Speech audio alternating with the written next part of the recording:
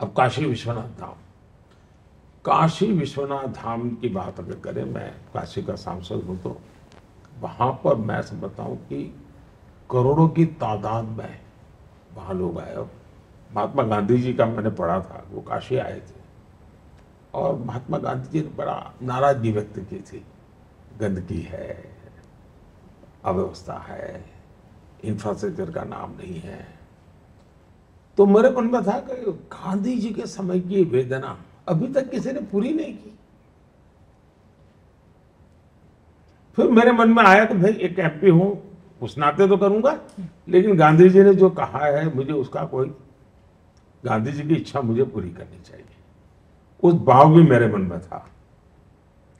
Infrastructure में काफ़ी कुछ किया है। हमने वहाँ सुविधाएँ भी बढ़ाई हैं।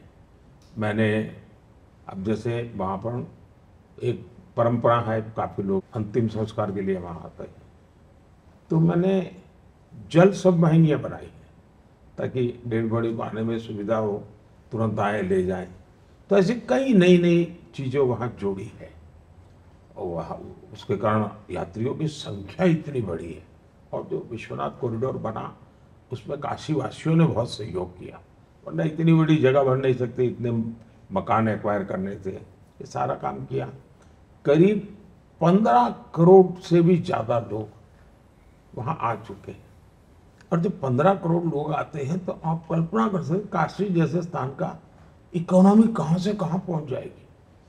आज वहाँ पर इकोनॉमी इतनी बूम है, और वही तो लोगों को रोज़गार मिल जाता है, नाविकों को भी काम मिल जाता है, फूल बेचने वाले को काम मिल जाता है, गेस्ट हाउस वालों को काम मिल जाता है। सामान बेचने वालों को मिल, खिलौने बेचने। यानी एक प्रकार से, हर प्रकार से लाभ हुआ है।